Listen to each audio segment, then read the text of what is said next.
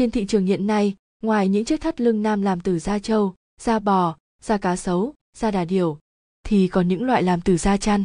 Mỗi loại da có một đặc điểm khác nhau và quá trình làm ra nó cũng có những đặc điểm riêng.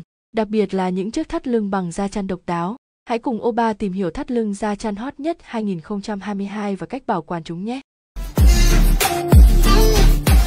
Chất liệu Da chăn và da rắn là hai loại da tuyệt vời để làm nên những phụ kiện thời trang với độ bền lên tới hàng thập kỷ. Tuy nhiên, nếu như da rắn thường nhỏ và hay bị chắp vá thì da chăn lại có kích thước tuyệt vời.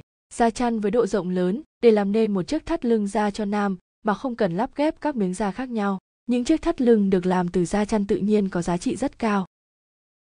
Đặc điểm Đặc điểm thường thấy trên một sợi dây lưng da chăn thật đó là những vết sẹo trên bề mặt da, cũng như những hoa văn đặc biệt tạo thành những điểm thu hút phái mạnh. Thắt lưng bằng da chăn có độ mềm mại và độ đàn hồi cao. Các chàng trai sẽ cảm nhận được lớp da chăn cực mịn mà mướt nếu sờ tay trên bề mặt thắt lưng. Nhìn bề mặt thắt lưng, chúng ta dễ dàng nhận ra lớp vảy của da chăn được xếp đều nhau cực tự nhiên. Cách bảo quản thắt lưng da chăn. Cất giữ.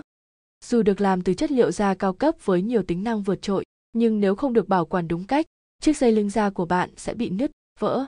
Nếu dây nịt nam cao cấp của bạn là bằng da, bạn cuộn nó lại mà cất giữ trong bịch hút ẩm là tốt nhất, hoặc chí ít là bạn treo lên trên móc trong tủ quần áo. Chú ý cách ly môi trường ẩm ướt vì nó có thể làm da bị mốc. Làm mới. Đối với sản phẩm da dùng lâu, bị bạc màu và khô cứng, bạn có thể sử dụng sữa tươi, khoai tây, dầu thông để làm mới bề mặt da. Dây lưng lâu không dùng đến có thể xuất hiện những vết mốc. Trong trường hợp này, bạn hãy dùng bông mềm lau bề mặt da với dung dịch cồn và nước. Nếu vết mốc cứng đầu hơn, bạn có thể dùng xà phòng diệt khuẩn. Bảo dưỡng bề mặt da. Dây nịt nam cao cấp nói chung và túi cao cấp, các sản phẩm cao cấp thường làm bằng da thật. Mặc dù trải qua quá trình thuộc da rất kỹ càng, nhưng sản phẩm vẫn có thể bị cũ đi trong quá trình sử dụng. Do đó, bạn nên bảo dưỡng bề mặt nó bằng các loại xi đánh dày để giữ cho sản phẩm trông như mới. Tẩy các vết mốc với dung dịch cồn pha loãng.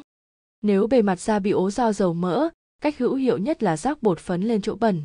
Để nguyên sau một ngày rồi dùng khăn mềm tầm dầu thông lau sạch là vết bẩn sẽ biến mất. Một số lưu ý khi sử dụng. Không đeo dây nịt nam cao cấp của bạn khi đi ngủ. Nếu dây thắt lưng bị ướt, bạn nên để khô tự nhiên, tránh phơi dưới ánh nắng gay gắt, bề mặt da dễ bị cong vẹo, biến dạng. Thường xuyên thoa chất bảo quản chuyên dụng để giữ độ ẩm cũng như độ bóng mịn của bề mặt dây lưng da.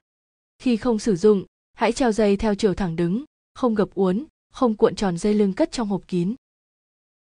Như vậy, Oba đã giới thiệu cho bạn thắt lưng da chăn cũng như cách bảo quản khi sử dụng chất liệu này. Hy vọng bạn có thể tìm được chiếc lưng da chăn ưng ý và phù hợp với mình nhất nhé. Cảm ơn các bạn đã theo dõi video. Nhấn like và đăng ký kênh để xem thêm nhiều video mới từ Oba nhé.